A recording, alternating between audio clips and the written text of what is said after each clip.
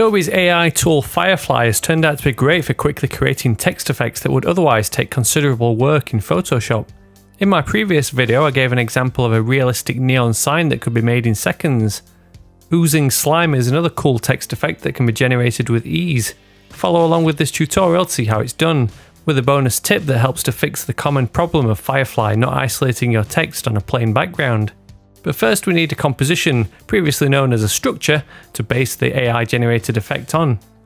Six years ago I made a tutorial showing how to create a slime text effect by modifying a font with hand drawn drip shapes. Let's go back in time and recreate this custom type in Adobe Illustrator. So open up Adobe Illustrator and create a new document. Begin by typing out your wording using a bold cursive font with nice fat curves. I'm using a premium typeface named number 7.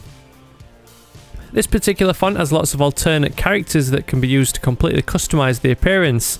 I liked one of the stylistic S glyphs, but flipped the other way up. To do this, the text element has to be outlined, then ungrouped to break the letters apart in order to manipulate the size, rotation and position of that one character. Once you have your text in place, go to Object Envelope Distort and Make with Warp. Choose Arc at 15% to give it a subtle bend, then rotate it slightly. Go to Objects and Expand to permanently apply this envelope distort effect. Now we're ready to customize the type with gooey drips. Double click the pencil tool to edit its settings. Max out the fidelity slider to smooth, then make sure fill new pencil strokes is checked along with keep selected and edit selected paths.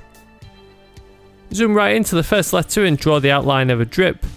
The process is a little easier with a pen tablet, but the smoothing of the pencil tool corrects any mistakes you might make. Since we have the keep selected and edit selected path settings checked, you can redraw over any outlines that don't look right to try again.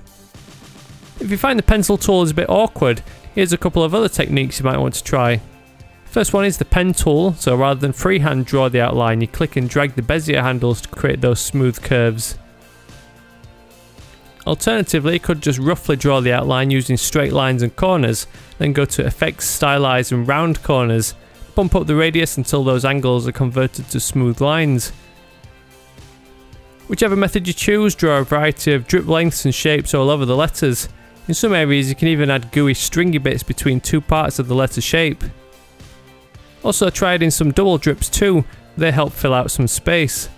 Don't worry about them flowing into the letters perfectly just yet, we'll carefully blend them next. Once you have all your drips in place, head back to the first letter and zoom in. Turn on Smart Guides from under the View menu, which will help you to snap to the existing path lines.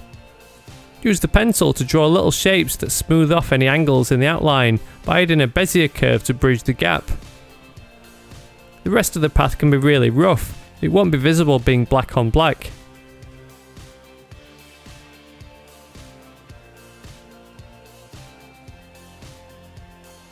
Once all the drips have been blended in, a few simple ellipses can be a great finishing touch to add some extra drips on the end of those droopy bits. Draw a selection across all the artwork and make a copy if you want to preserve an editable version, otherwise click the Unite button in the Pathfinder panel to merge everything into one outline.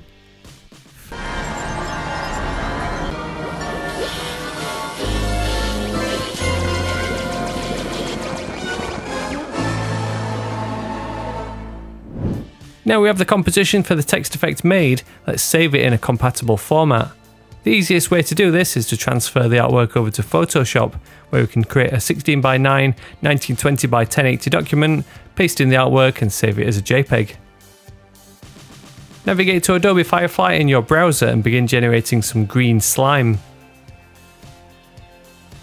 By default the aspect ratio is set to square, so first we'll want to match the 16 by 9 widescreen format of the composition we'll be making use of later.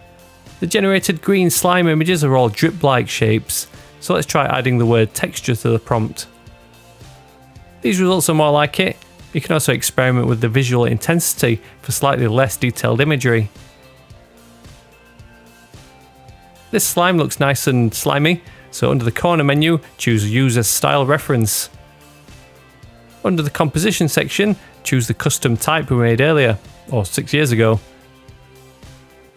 Set the strength of both the composition and the style to max. These results have combined the text and the slime effect, but despite using max strength, it hasn't strictly adhered to the outlines of the composition text and isolated it on a plain background. This is a common problem I've come across, but I found a bit of a solution. Download this result, then open it up in Photoshop. Paste in the original custom type and scale it to size. Quickly switch to the Channels tab and hold the Command or Control key on Windows while clicking the thumbnail of a channel to load a selection of the text. Disable the visibility of the layer, then add a new layer and fill the selection to crudely isolate the slime effect. In my original 6 years ago I used a pale yellow background, so I'm using that same hue here. Save this new processed slime image, and back in Firefly use it as the new style reference. The next set of results will recreate the slime effect and isolate the text on a plain background. This one is probably my best result, which has a detailed and realistic green slime effect, complete with reflections and texture, compared to my original flat vector artwork that was made in Adobe Illustrator. If you enjoyed this tutorial or learned any new tips and tricks, a thumbs up on the video would be really appreciated. Stick around for more of my content by subscribing to the channel and be sure to join my mailing list at Spoon Graphics to download all my free design resources. As always, thank you very much for watching and I'll see you in the next one.